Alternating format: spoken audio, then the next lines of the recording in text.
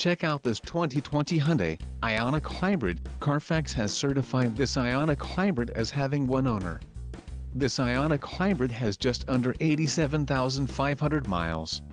This vehicle has a limited warranty. This vehicle gets an estimated 57 miles per gallon in the city, and an estimated 59 on the highway. This Ioniq Hybrid boasts a 1.6-liter engine, and has a 6-speed automatic transmission.